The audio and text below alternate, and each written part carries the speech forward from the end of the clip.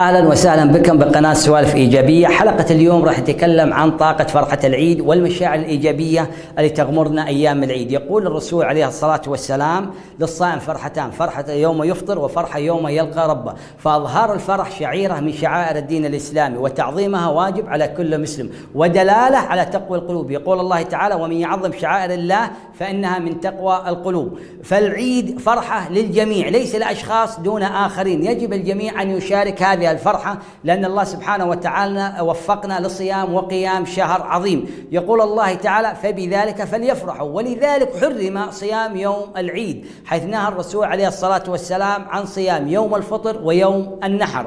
ومن المعروف بأن الطاقة الإيجابية تزيد وتتسع وتنتشر من نفس نوعها. والطاقة الإيجابية أقوى بكثير من الطاقة السلبية. والشخص كلما كان في حالة فرح وسرور أو خالط أشخاص فرحين ومستبشرين فإن ذلك سوف يكون له انعكاس قوي على مسارات الطاقة وينشط مسارات الطاقة بجسم الإنسان.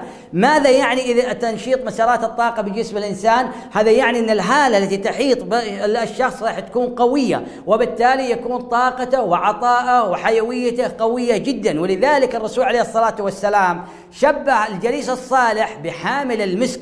شخص محفز شخص إيجابي شخص يملأ قلبك فرح وسرور. بينما الجليس السوء بنافخ الكير. أفكاره سلبية محبط كثير النقد كثير الشك طاقته سلبية.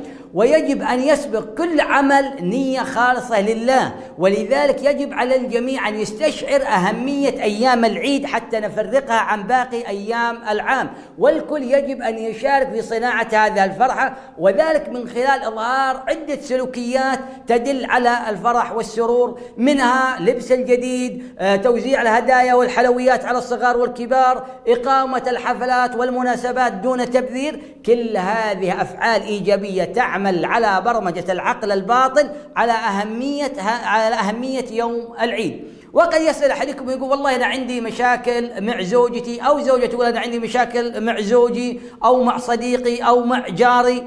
أقول له أن الله سبحانه وتعالى شرع العيد في العام الثاني للهجرة ولم يمنع أن يفرح الرسول عليه الصلاة والسلام والصحابة ومكة المكرمة تحت سيطرة كفار قريش.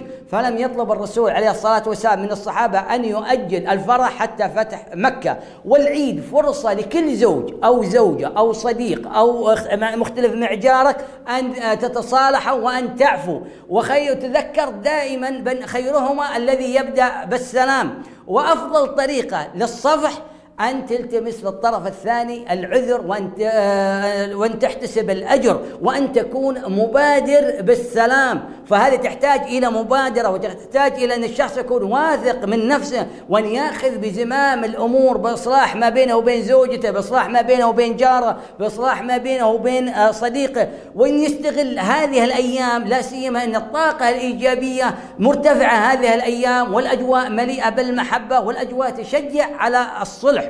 وأخيرا تذكر وأخيرا سبق وإن قيل في الأمثال بأن من جاور السعيد يسعد ولذلك الكل منا يحرص على أن يظهر الفرحة والسرور وكل عام وأنتم بخير.